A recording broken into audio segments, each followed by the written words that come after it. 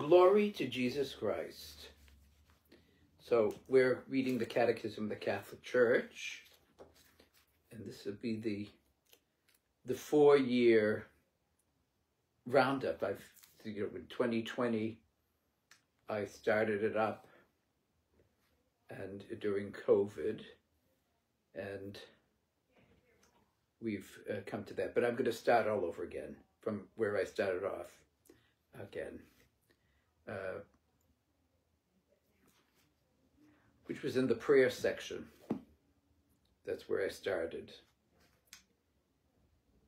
So, and we're, uh, and this is the Catechism of the Catholic Church, the second edition, the uh, 2019 reprint of the 2016 second edition, which is not not much different from it all. Just a little addition of Pope Francis's stuff on capital punishment, and uh,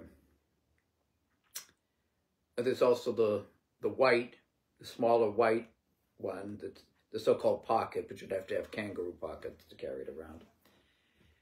And so this is published by Libreria Editrice Vaticana, which is the Vatican publishing house and bookstore. And this is uh, also available in at www.usccb.org. I think you can buy it there. Uh, publication number 7-649. And you can also get it free online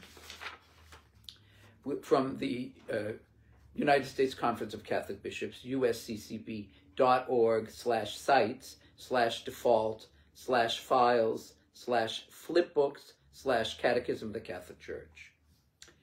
Uh, or at www.vatican.va, Catechism of the Catholic Church, and, and go to English on that.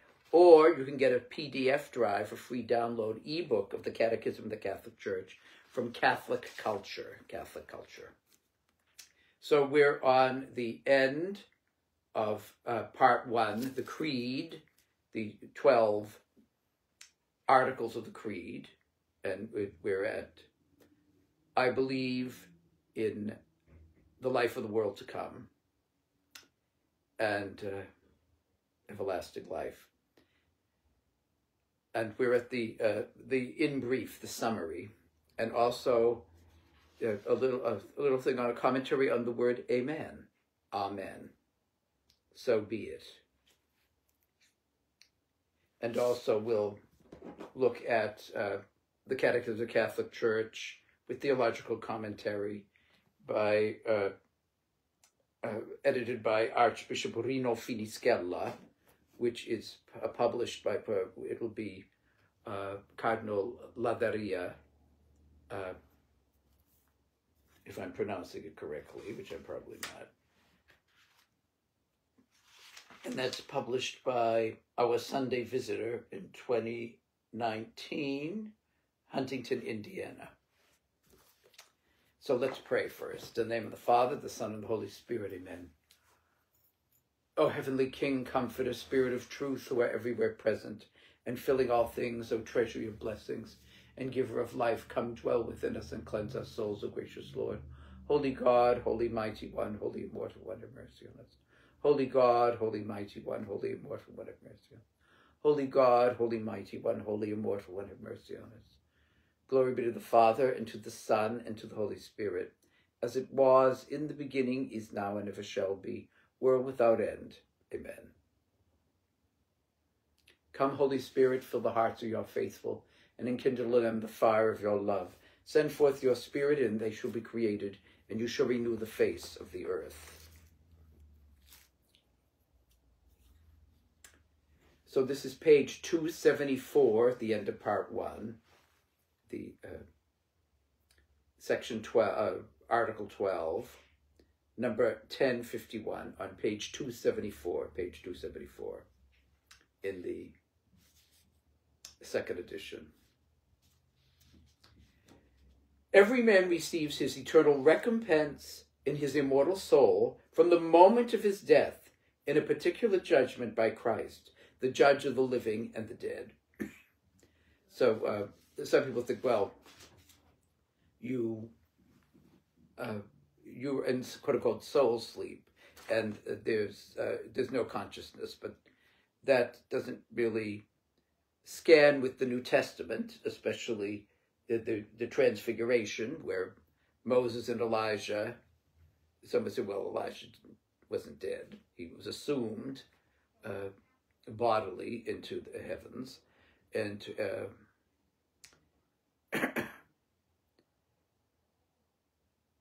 but we uh, you're conscious you're conscious you're, it's not waiting to the resurrection the bodily resurrection to to be quote unquote spiritually alive you're, our souls are immortal but our bodies definitely aren't as i can tell you from my own experience in aging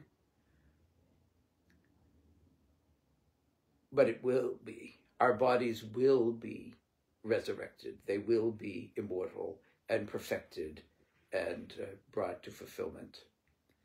And uh, uh, uh Father Hickey was talking about his brother Danny today, and uh, who has special needs.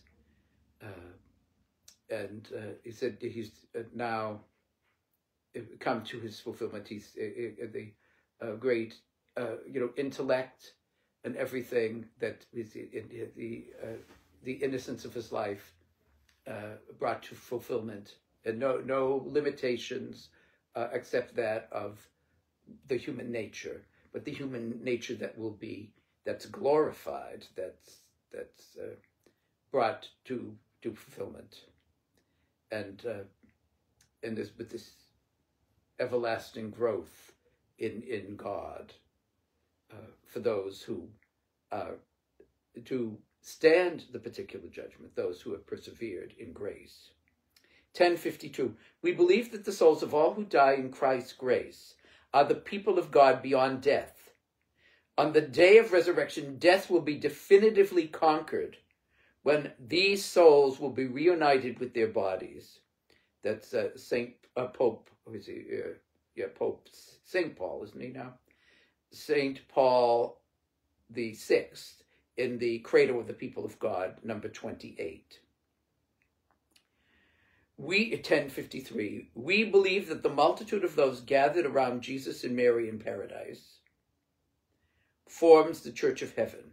So, uh, Mary, and of course, all the, uh, not just Mary, of course, all the members of the body of Christ, everybody who is in, in the reality of grace all those gathered, and we're gathered around Jesus, who's the center of the universe, the the uh, who has the, the, fullness of materiality in his humanity, in his resurrected, uh, and uh, the fullness of of God, of, of, from all eternity, equal with the Father and the Holy Spirit as one being, one God, yet distinct in nature, distinct in his natures. And so we form the Church of Heaven, which is the church gone home, grace gone to glory, as Father Conley used to say.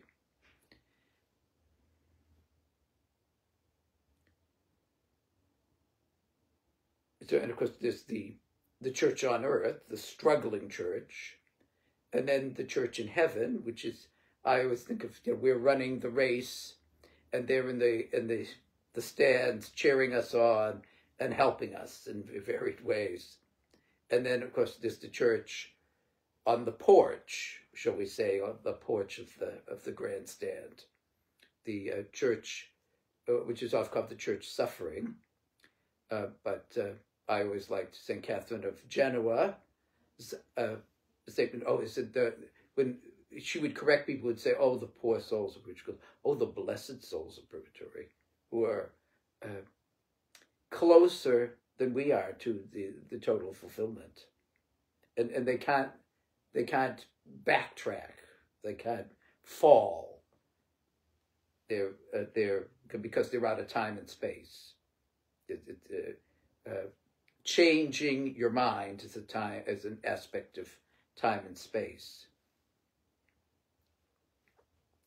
But someone said, well, what about the rebellion of the angels? Well, that's that's a, they're a different set of being altogether. So, uh, but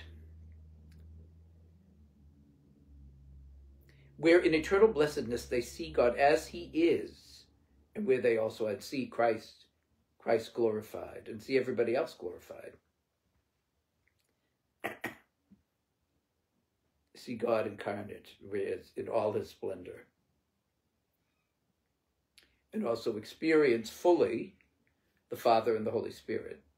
But then it's a, a fullness that's always growing because God is infinite and eternal.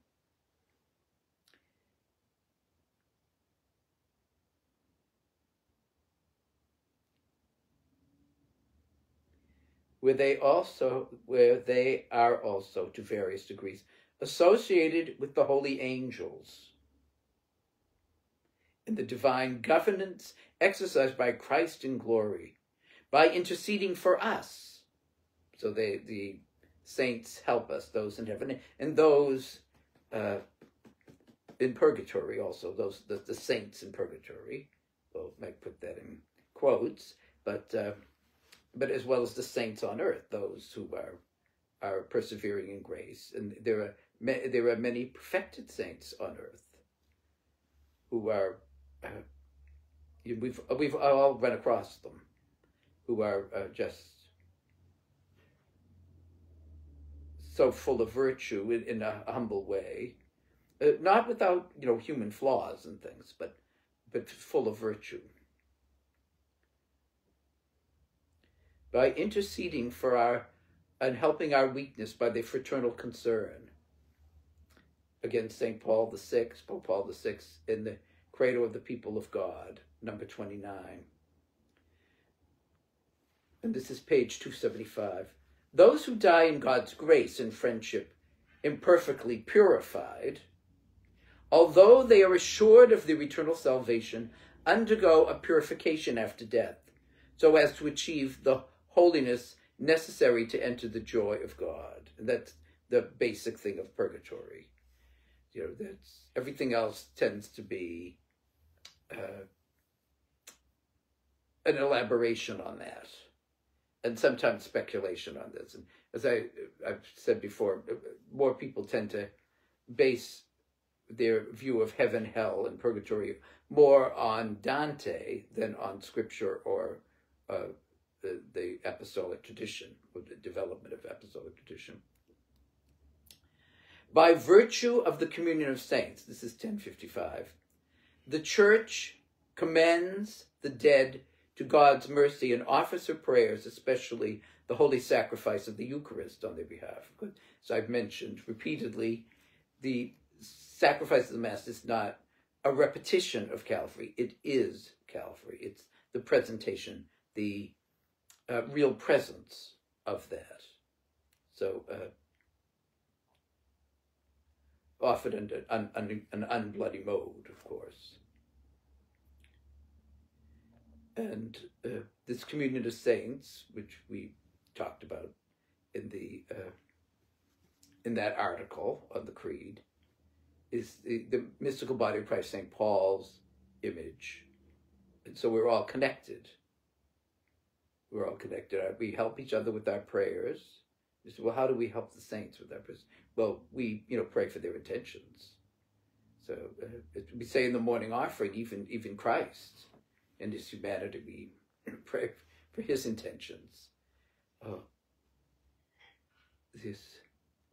O Jesus, through the Immaculate Heart of Mary, I offer you my prayers, works, joys, and sufferings of this day for all the intentions of the Sacred Heart, in union with the holy sacrifices of Mass throughout the world. So, this is uh, so we in one sense pray, we're praying in and in Christ, joined joined joined to joined to Him as our as the head, the head of the body, and as our one mediator with the Father.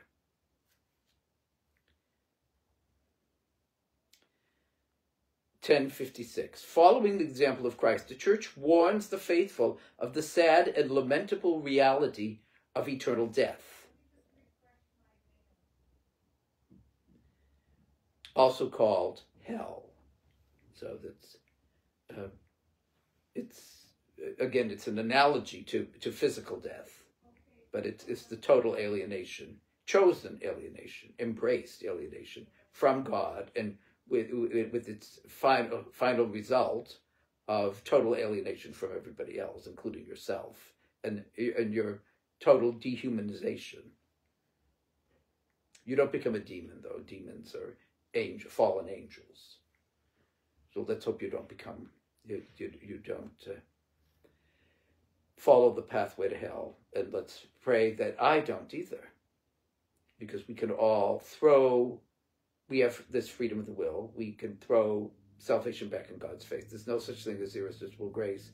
There's no such thing as once saved, always saved. 1057. Hell's principal punishment consists of eternal separation from God, in whom alone man can have the life and happiness for which he was created and for which he longs. But we don't uh, pass sentence on people. That's up to God. That's that's an idolatry. That's that's usurping a role of God, a, a quality of God, ascribing it to human beings, ascribing it to ourselves, claiming it for ourselves because we we are not omniscient. We can't know all that. So, uh, and some people say, "Oh, why do you pray for that person who's such? It's just uh, you know, totally lost." Uh, the, the even that the uh, the person's uh, behavior may literally be atrocious, uh, and the person may be a monster. Even I will still pray for that person, and even in death, I'll pray for the person. You never know. You never know about if the person had uh, last second penitence, and we don't, or we don't know all of the circumstances of the person, how messed up the person was, or whatever. So I always pray. can't can't hurt, and uh, God can always apply it to somebody else if the other person doesn't want it.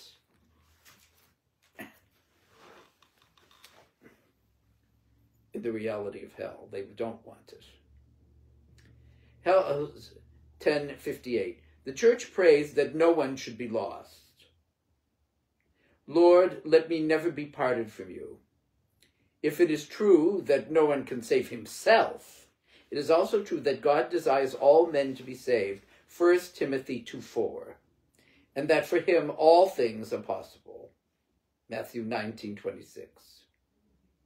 1059 the Holy Roman Church affirms, affir, uh, firmly believes, and confesses that on the day of judgment all men will appear in their own bodies before Christ's tribunal to render an, account of their own deeds. The Council of Lyon, uh, the Second Council of Lyon, in 1274. 1060. At the end of time, the kingdom of God will come to its fullness. Then the just will reign with Christ forever, glorified in body and soul, and the material universe itself will be transformed. God will then be all in all. 1 Corinthians 15:28 in eternal life. And on page 276, Amen. That's how it ends our prayers end in amen, amen. And so it does the creed, because the creed is also a prayer. It's the proclamation of faith, uh, but it's, it's a great act of faith. Amen. 1061. The creed, like the last book of the Bible, the Revelation 22, 21. So if you're ever in jeopardy, it says, what's the last word? It's Amen in the Bible. The last book of the Bible ends with the Hebrew word Amen. This word frequently concludes prayers in the New Testament. The church likewise ends prayers with Amen. 1062. In Hebrew, Amen comes from the same root as the word believe, believe, faith, emet. And this root expresses solidarity, trustworthiness, faithfulness. And so we can understand why Amen, Amen, may express both God's faithfulness towards us and our trust in Him. 1063. In the book of the prophet Isaiah, we find the expression the God of truth. Literally, the God of the Amen. That is, the God who is faithful to his promises. He who blesses himself in the land shall bless himself by the God of truth. The Amen, the God of Amen. Our Lord often used the word Amen, sometimes repeated. It, sometimes the I think the New American often translates, I solemnly assure you. But it's Amen, and if he's really emphasizing Amen, Amen, I say to you.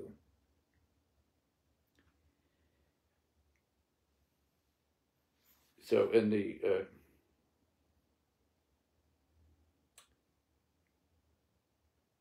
six forty eight, yes. See Matthew six, two, and five, and sixteen, and John five nineteen, among other places. To emphasize the trustworthiness of his teaching, his authority founded on God's truth, divine truth. Oh Lord, have mercy that an engine, a, a siren just went by. 1064. Thus the creed's final amen repeats and confirms its first words. I believe. To believe is to say amen to God's words, promises, and commandments, and to entrust oneself completely to Him. So that's true uh, faith, uh, which is not just an intellectual thing, not just an emotional thing. In fact, it's not a, really an emotional thing, but uh, and or just a volitional thing. It's it's a dedication. It's entrusting oneself completely to Him who is the Amen, the faithful one. The Amen of infinite love and perfect faithfulness. Because being infinite love and eternal love, God has to be more than one person. Because love is relationship, and if God is the only being in eternity, which He is, the only eternal being, and the only infinite, then God has to be more than one person. There has to be, with infinity, there has to be diversity. So, and uh, some would say, well, why do Christians just have three? Why don't they have a million, a billion, a, a quadrillion, a, a, a googol of, of, of that, an infinity of it, in fact, of, of incarnations, or not incarnations, of, of um, hypostases of being, uh, because Jesus only revealed that. Jesus revealed three in Matthew 28. Go and make disciples of all nations, baptizing them in the name, Hashem, which is uh, a euphemism for God, the, of the Father, the Son, and the Holy Spirit. The Christians everyday life will then be the amen to the I believe of our baptismal profession of faith. Because remember, the creed was the the kernel of the creed anyway was the uh, uh, the was baptismal. May your creed be for you a mirror. Look at yourself in it and see if you believe everything you say you believe, and rejoice in your faith each day. St. Augustine's Sermon 58, comma 11, comma 13, Patrologia Latina 38, comma 399. May your creed be for you a mirror. So it's not just some some words it's our profession, our profession of life. 1065. Jesus Christ himself is the Amen. He is the definitive that's uh, Revelation 3 14. He is the, which also means he's God. He is the definitive amen of the Father's love for us. He takes up and completes our amen to the Father. For all the promises of God find their yes in him. That is why we utter the amen through him, to the glory of God. 2 Corinthians 1.20 Through him and with him and in him, O God, Almighty Father, in the unity of the Holy Spirit, all glory and honor is yours forever and ever. Amen. So that's the uh, Eucharistic Prayer 198, Common Idea for the Roman Missal. That's the uh, the Per Ipsum. That's the where the host is elevated at the end, uh, or both, uh, both chalice and host. Through him, with him, and in him.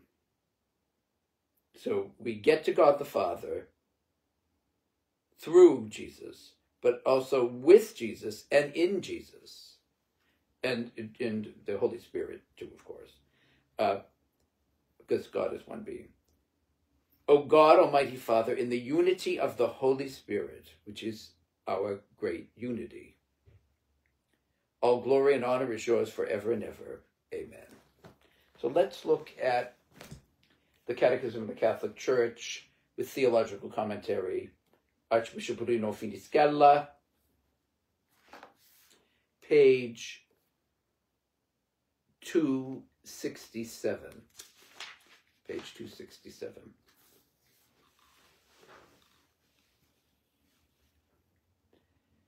Gaudium Spes 39 takes up precisely that that's the uh, for the documents of Vatican II which takes up precisely the biblical tradition of the transformation of the cosmos. So the whole, we're just, that's, uh, as I mentioned yesterday, the uh, we're not quote unquote spiritualists. We don't just believe that uh, you know that uh, the soul is all that matters, and we escape matter, but no, we'll, we'll be transformed in matter we will be uh, immortal bodies as well as immortal souls, and transformed bodies as well as transformed souls, in the power of grace, totally pervaded by the energies of God. If, of course, we persevere in grace.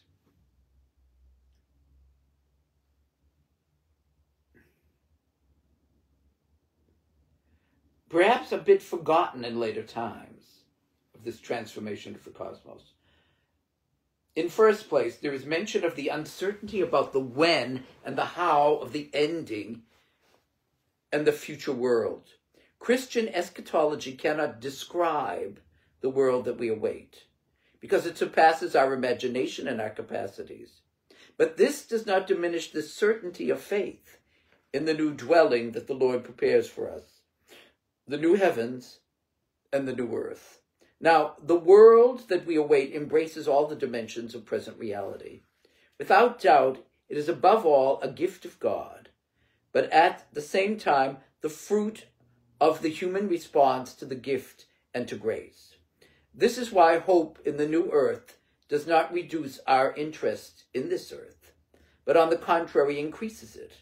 Because in hope of the future transformation, our efforts in this world are radically saved from vanity and from the transience that characterizes our present condition.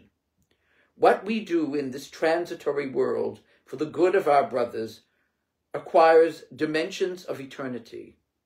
The Council spells out very well, on one hand, the discontinuity between our present condition and that of the future. The Council, of course, is the Second Vatican Council we need to distinguish between earthly progress and the kingdom of God, among other things, because this progress is often ambiguous. So we, and also uh, uh, deceptive, because all sorts of things are promoted as progress. Just look at the progressives of today. Often that uh, it's certainly not moral progress that often they uh, propose. Um, and uh, and it's interesting that whatever change they want, no matter how really retrograde it is or immoral, uh, people, uh, right and left, uh, will claim that it's progress.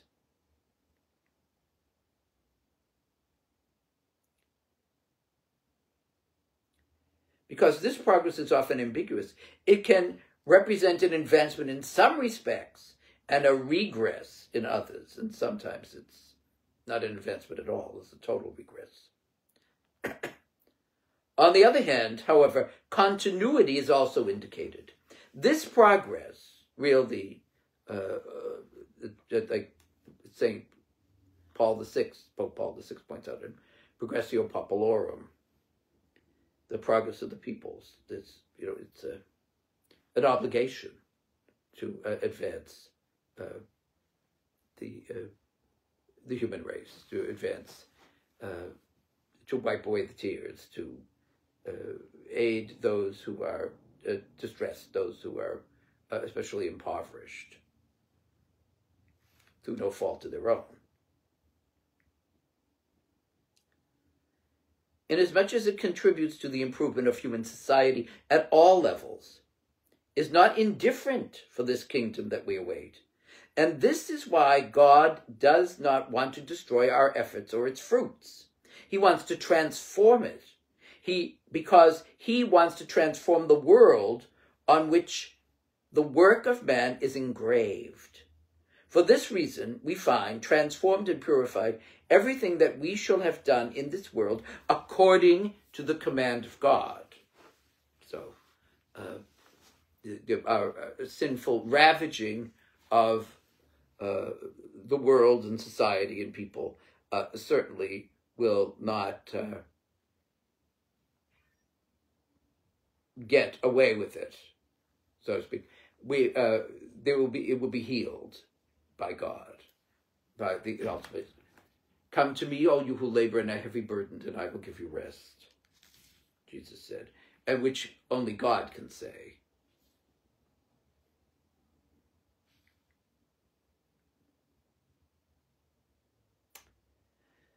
For this reason we find transformed and purified everything we shall have done in this world according to the command of God, in docility to the power of his Spirit. Everything in which we have been truly cooperators of God in the fulfillment of his design will be part of the new heavens and the new earth.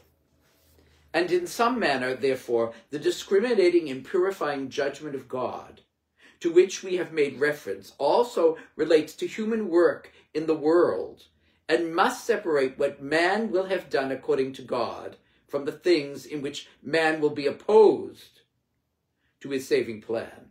This purified and transformed world also forms part of the kingdom that Jesus will present to the Father at the end of time, when everything will be submitted to him. God will be all in all, again, 1 Corinthians 15, 28. Therefore, the heavenly gifts that the Father gives us through the Spirit in the Holy Spirit, to excuse me, through the Son in the Holy Spirit, together with the universe of things he created and guides towards fullness, constitute the eternal life that we await. And then his commentary on Amen. The, uh, but this is by uh, the editor, uh, Archbishop Rino Fisichella, not by uh, Cardinal Lavaria.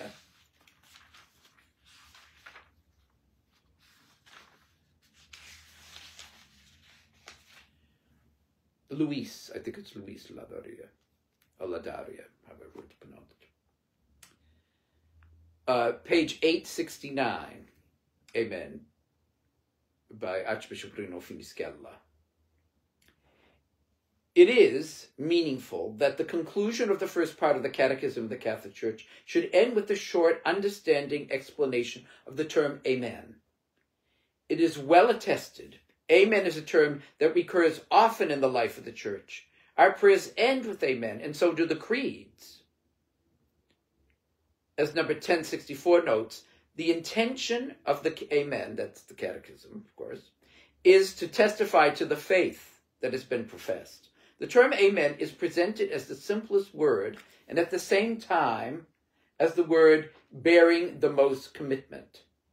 It has been imprinted in all the modern languages in the same original Hebrew form.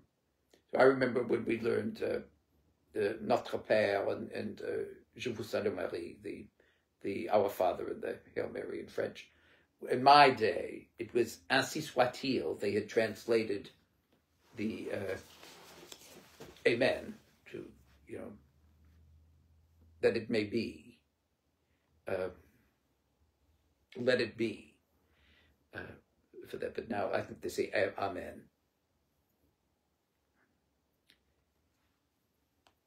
In French.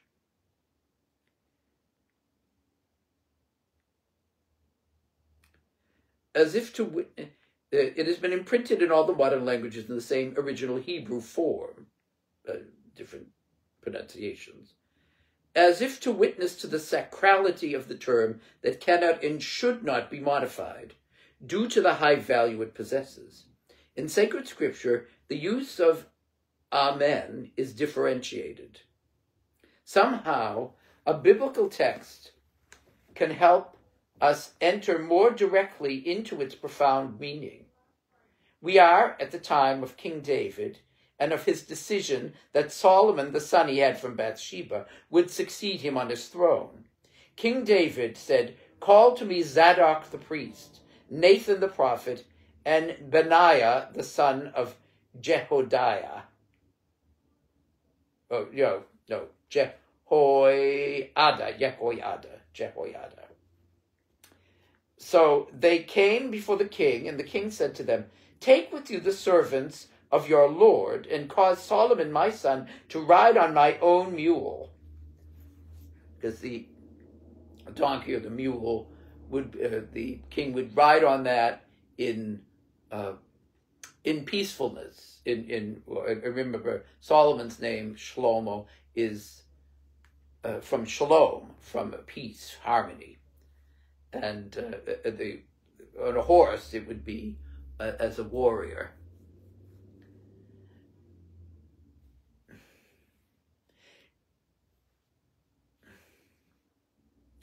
ride on my own mule and bring him down to Gihon, and let Zadok the priest and Nathan the prophet there anoint him king over Israel. Then blow the trumpet, because remember this was there was a, uh, a usurpation of uh, well, or uh, uh, uh jumping the gun, shall we say, of the oldest son. Uh, when Bathsheba had David promised that it would be Solomon who would be uh, uh, succeed him. And you shall come and say and uh, blow the trumpets and say, "Long live King Solomon." Then you shall come up after him, and he shall come and sit on my throne, for he shall be king in my stead, and I have appointed him to be ruler over Israel and over Judah. And Benaiah the son of Jehoiada, answered the king, Amen. As you note, Amen. Amen. May the Lord, the God of my Lord the king, say so. As the Lord has been my Lord, the king, even so may it be with Solomon, and make his throne greater than the throne of my Lord King David. So that's from 1 Kings 1 32 through 37. The Amen, so be it, pronounced by the prophet Benaiah, has a double meaning. On one hand, it indicates that the prophet has understood the will of King David, he approves it, and joins in, even expressing the prediction that the Lord himself will be able to make the king's word happen. On the other hand, the Amen indicates that the prophet is ready to fulfill everything that is required so that the order be executed as we can see, a relationship exists between the word that the what the word of the king calls for and what its realization involves. The Amen pronounced by the prophet bears witness that in so much as it is the will of King David, it must be carried out. So a twofold relation is expressed. The objective relation that refers to the order expressed, which must find a response in its actualization, and the subjective relation that is caused between the person who pronounces the Amen and what he confirms with his concrete action. So the Amen should lead to concrete action in prayer or in profession of faith.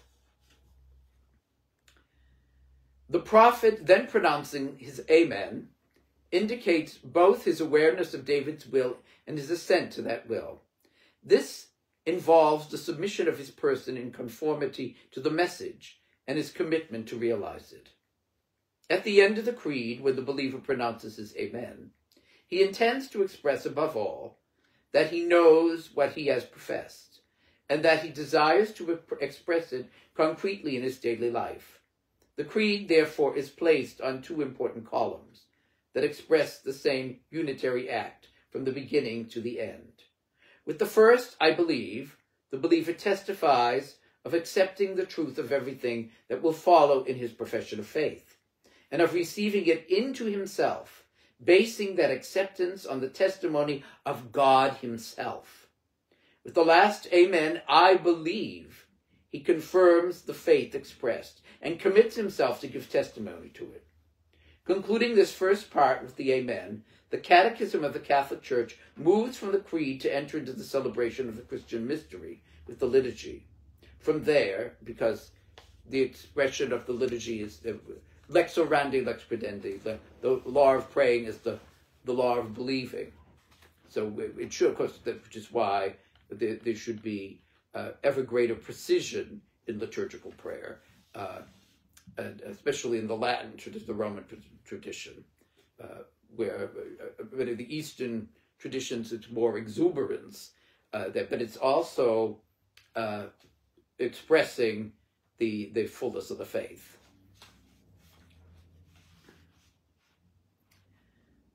So from there, passing on to the commitment of living as disciples of Christ, it will enter into the fourth part with Christian prayer, which is the part that I'm going to start on uh, tomorrow. The Amen will be repeated also at that time as the certainty of having encountered God the Father, God the Son, and God the Holy Spirit, of trusting Him, and of being heard in the necessities of every day. Though I might do the credo of the people of God if I can find the booklet uh, first. So let's pray.